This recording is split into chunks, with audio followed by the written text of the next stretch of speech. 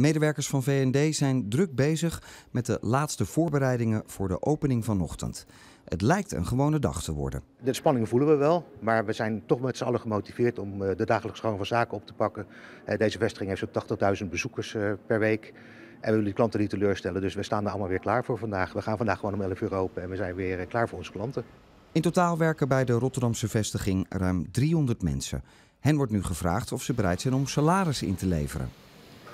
Ja, ik, ik wel. Ik ben er zeker toe bereid. Ik heb, echt, uh, ik heb er wel wat voor over om toch door te gaan uh, met, dit, uh, met dit werk.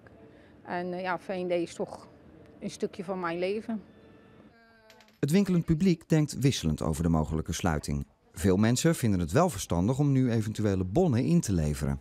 Want misschien is het vandaag wel de laatste dag dat dat kan. Dus, en we zijn er nu toch vanuit Zeeland. Dus ik ga kijken of we er wat voor kunnen kopen. Gewoon failliet laten gaan, vind ik.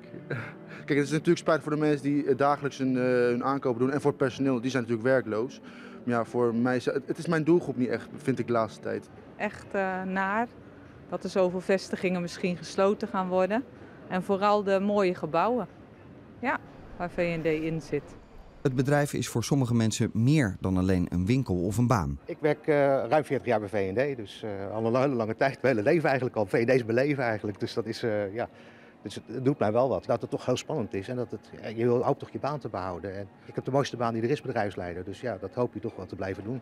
Aan het eind van de dag werd bekend dat VND voorlopig gered is. Het was toch wel een hele spannende dag vandaag. Wat er zou gebeuren, welke kant het op zou vallen. En is in ieder geval de goede kant op gevallen. Daar zijn we heel erg blij mee.